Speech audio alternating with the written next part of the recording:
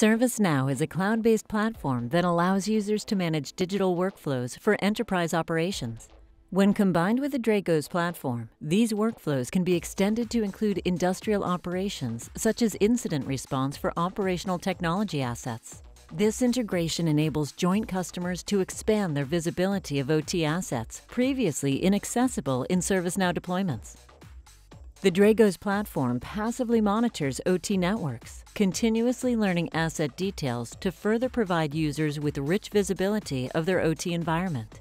A Rockwell PLC is highlighted on the map, along with a summary of the available asset details that can be exported into ServiceNow, further enhancing the overall asset visibility. Moving into ServiceNow, we now see where the exported OT assets are available to enrich the overall asset database, allowing users to make better informed workflow decisions based on the asset attributes, location, and function.